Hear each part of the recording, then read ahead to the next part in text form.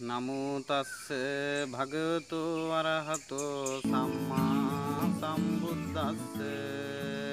ඒ භාග්‍යවත් වූ අරහත් වූ සම්මා සම්බුදුරජාණන් වහන්සේට මාගේ নমස්කාරය වේවා. ජාතක පොතෙන් ජීවිතයට නම් වූ ජාතක ධර්මදේශනා මාලාවේ 67 වන ජාතක කතාවයි අද දවසේ මා ඔබ වෙත පහදා දීමට සූදානම. 550 ජාතක පොත් වහන්සේ තුල එන 67 වන ජාතක කතාව උච්චංග ජාතකයේ යනුවෙන් තමයි සඳහන් වෙන්නේ. අප තථාගත භාග්‍යවත් බුදුරජාණන් වහන්සේ සවැත් නුවර ජේතවනාරාමේ වැඩ සිටිනකොට එක්තරා ජනපද වාසී එක් ගමක ජීවත් වෙච්ච ස්ත්‍රියක් මුල් කොටගෙනයි මේ ජාතක දේශනාව බුදුරජාණන් වහන්සේ දේශනා කරන්නට යෙදුනේ. කොසල් රටේ එක්තරා පුරුෂයෝ තුන් දෙනෙක් කොසල් රටේ පුරුෂයෝ තුන් දෙනෙක් පුරුෂයෝ තුන් දෙනෙක් එක්තරා වනලැහැබක් මැද කුඹුරක් සීසාණ්ඩ පටන් ගත්තා.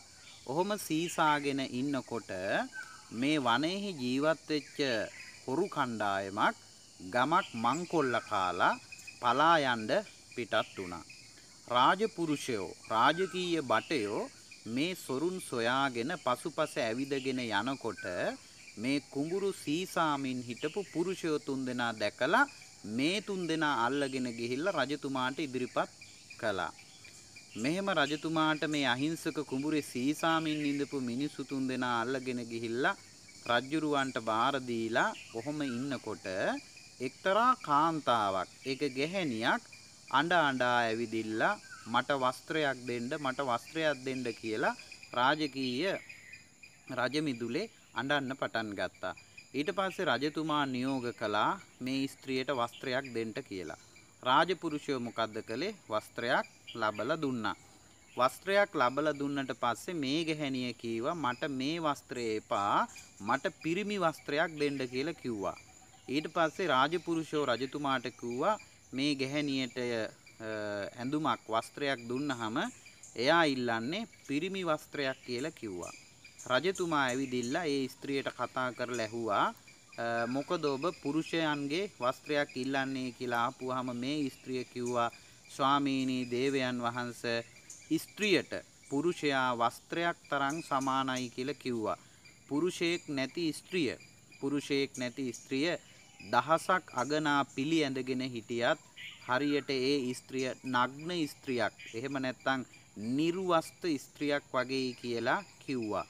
රජතුමා මේ කතාවෙන් පැහැදීමටපත් වෙලා ඇහුවා ඔබට ඔබේ කවුද මේ ඉන්නේ කියලා කිව්වා. ඊට පස්සේ කිව්වා එක්කෙනෙක් මේ ස්වාමියා කීවා අනිත් එක්කෙනා මගේ පුතා කීවා අනිත් එක්කෙනා මගේ සහෝදරයාය කියලා කිව්වා. ඊට පස්සේ රජතුමා ඇහුවා උඹට මෙයින් කවුද ඕනේ කියලා ඇහුවා. කිව්වා ස්වාමීනි ජීවත් වෙලා හිටියොත් ස්වාමියෙක් ලබන්න පුළුවන්. ස්වාමියෙක් ලැබුවොත් පුතෙක් ලබන්න පුළුවන්. එහෙත් මගේ අම්මා තාත්තා ජීවතුන් අතර නැති නිසා සහෝදරයෙක් ලබන්න බෑ කීවා. ඒ නිසා ඔබතුමාගේ භාරයේ සිටින ඔය තුන් දෙනා අතරින් මට මගේ සහෝදරයා මල්ලිව ලබා දෙන්න කියලා කිව්වා.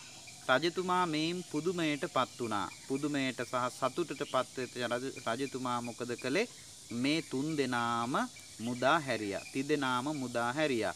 මෙන්න මේ කතා ප්‍රවෘත්තිය දම් සභාවෙහි බුදුරජාණන් වහන්සේ වැඩ සිටින දම් සභාවේ භික්ෂූන් වහන්සේලා අතර මේ සිදුවීම කතා බහට ලක් වුණා. එක ස්ත්‍රියක් නිසා තුන් දෙනෙකුගේම ජීවිතය බේරුණා කියන කතාව. ඒ ඒක අහගෙන ඉඳපු අප භාග්‍යවත් බුදුරජාණන් වහන්සේ පැහැදිලි කළා මේ ස්ත්‍රිය මේ ආත්ම භාව විතරක් නෙවෙයි පෙර ආත්ම භාවයකදීත් මේ ස්ත්‍රිය නිසාම තිදෙනෙකුගේ ජීවිතය බේරුණා කියලා අතීත කතා පුවත ගෙනහැර දැක්වුවා. එනම් අතීතයේ බරණැස් නුවර බ්‍රහ්මදත්ත රජුරුව රාජ්‍ය කරන කාලේ සොරුය කියලා මේ වගේම සීසාමින් ඉඳපු අහිංසක පුරුෂයෝ තුන්දෙනෙක් අල්ලගෙන ගිහිල්ලා රජුට පාවල දුන්නා. පෙර වගේම පෙර පරිද්දෙම්ම ස්ත්‍රියක් පැමිණ තමන්ගේ මල්ලි සහෝදරයා මේ මගේ සහෝදරයා කියලා ඉල්ලුවා ස්වාමියාත් පුතත් ඉඳෙද්දී ඇය ඉල්ලුවේ මගේ මල්ලි ලබා දෙන්න මල්ලි නිදහස් කරන්න කියලා. ඒ අවස්ථාවේදී ප්‍රසාදයට පත්වෙච්ච බඹදත් රජතුමා තිදෙනාම නිදහස් කළ බව බුදුරජාණන් වහන්සේ මේ අතීත කතා පුවත ගෙන හර දැක්වුවා.